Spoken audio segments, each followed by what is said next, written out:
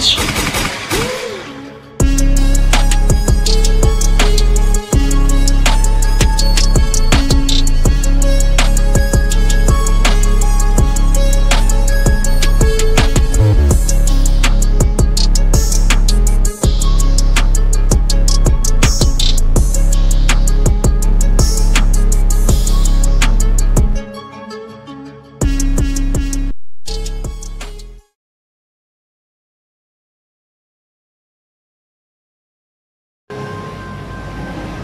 dito nga tayo ngayon sa Memory PH.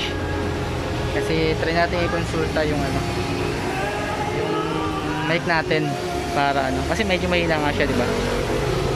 Kung magagawan ba ng paraan, mapapalitan ba ng bago?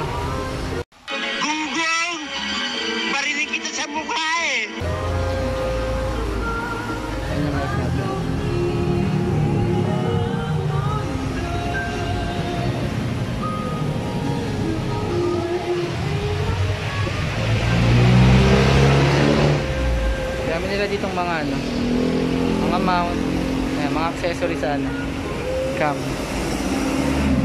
Ayan, sa pouch.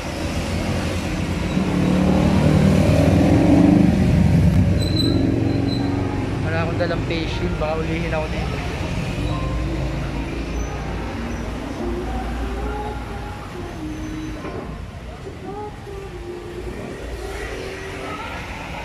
Date kulit kayo kung ano bang mangyayari kung papalitan ba o o may mali lang sa settings.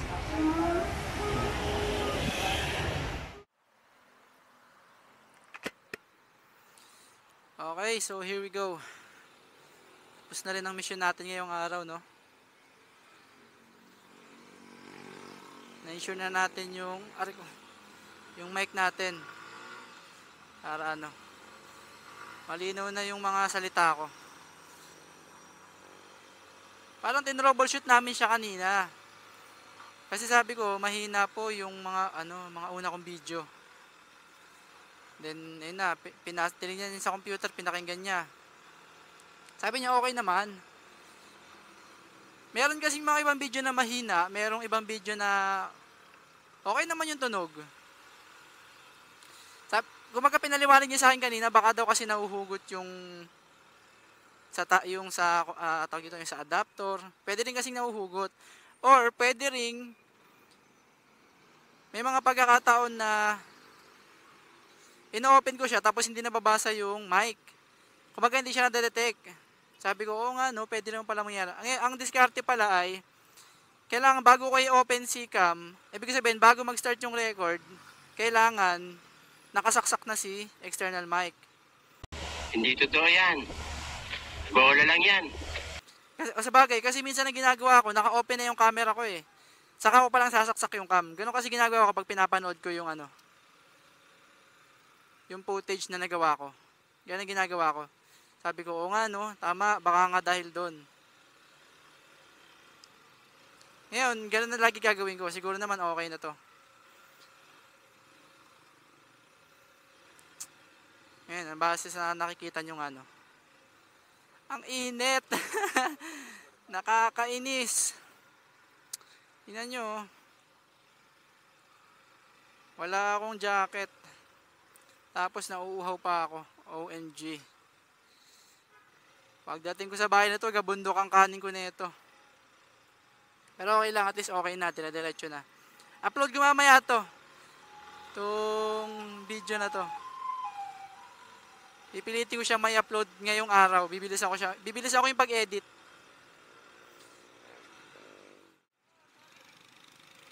Happy, ingat.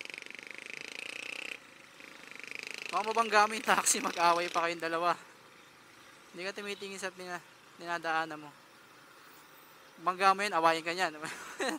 Pabayaran sa yung gasgas ang taxi niya.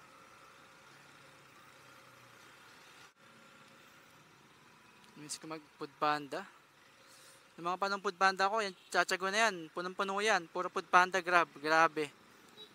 Mababad trip ka kapag diyan ka binatuhan ng order. Kasi, yung isang order sa'yo, aabot ng 30 minutes. O higit pa. 30 to 45 minutes. Naisip ko nga eh, gagawa ako ng content na babiyahe ulit ako ng food panda. Naisip ko lang naman, no? Biyahe ulit ako kahit isang araw lang ng food panda.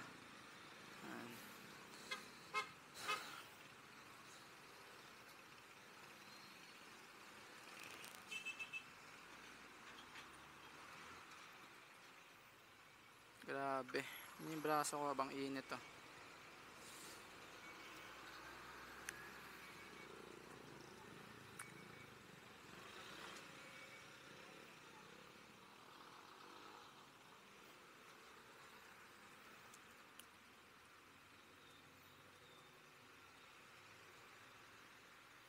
Gusto ko ng Jollibee. Gusto ko ng McDo. Shout out mga enforcer ng Pasig. Uy, bakit ka humarang dyan? Bubusinahan ka talaga niyan.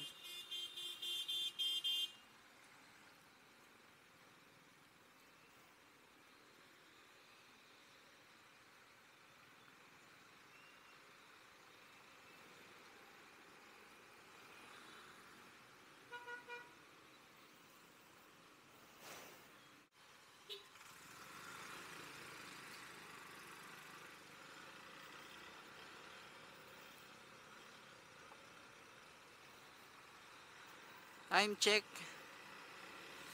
Mag-aalas dos na. Oras natin ay 1.50. Eksakto.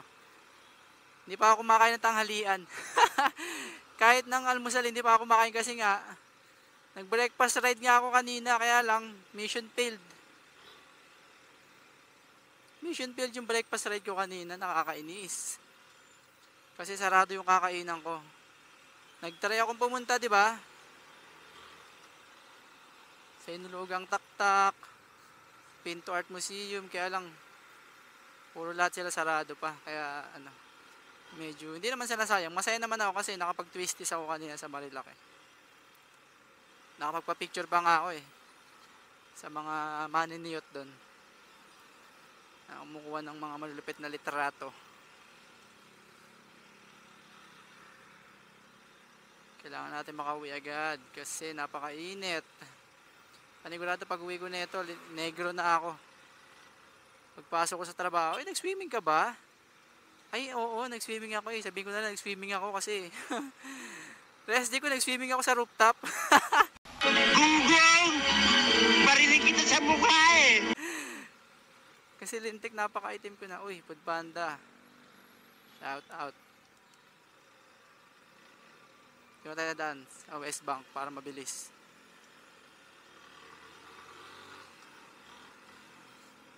Hindi ko alam no kung ilang bar pa yung battery ng action cam natin.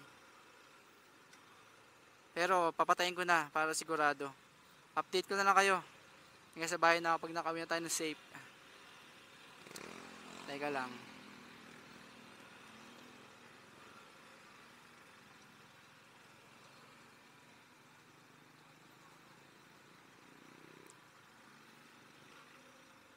Okay, update ko na lang kayo. Wait lang po.